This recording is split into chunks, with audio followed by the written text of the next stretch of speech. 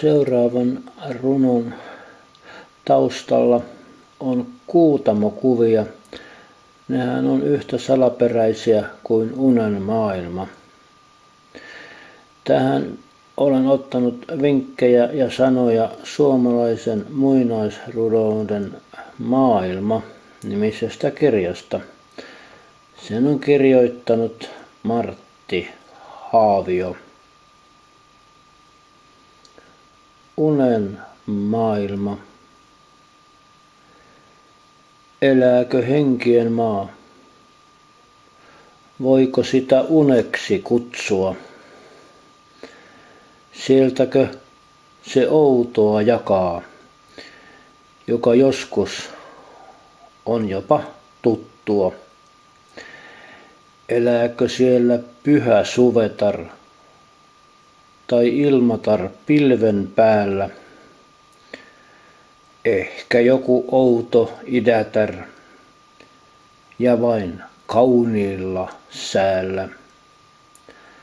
Tämäkö on henkien elämää ja sen voi kaikki tavata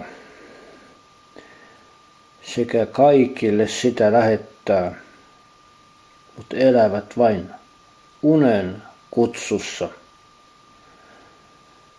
Minä elin äsken sen ajan, sen unen taivaasta pudonneen. Näin sieltä henkien pajan, ehkä jo hieman lahonneen. Sitä laholta kun kohentelen, niin tapaan taivaasta pudonneen. Ja hänelle mystisyydestä juttelen, tästä ajasta jo kadonneen. Sinä oletko se partaukko, joka oli kukkaro käsivarrella, vai oliko terävä puukko, jolla oli pelko omalla tunnolla? Hei, ole vuoren peikko, joka eli muurahaisen hahmossa. Välillä toisenkinlainen olento, jolla hiisi oli aina vahdissa. Välillä se pääsi pakoon, juosten käärmeen kalliolle.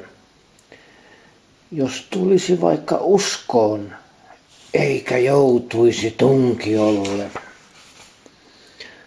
Taas, kun lahoutta kohensin, tällä kertaa käärmeen kalliolla, näin sieltä kovan tuskankin, eikä ollut tilaa tunkiolla.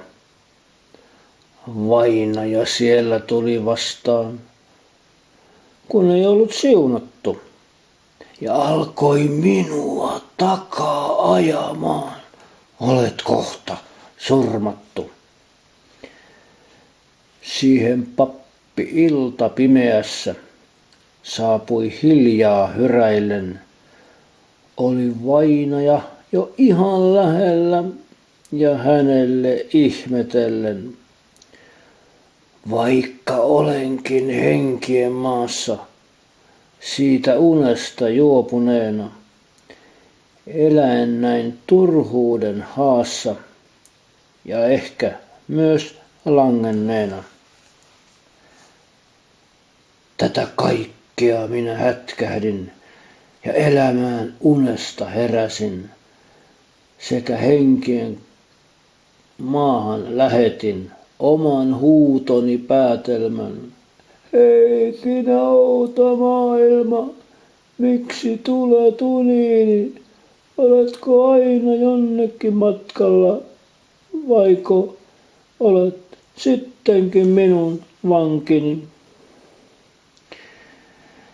Jos niin kavalasti toimin, niin lähde vain pois. Minä vain unesta poimin ja olen hyvyyden kutsunnois. unen maailmako opettaa.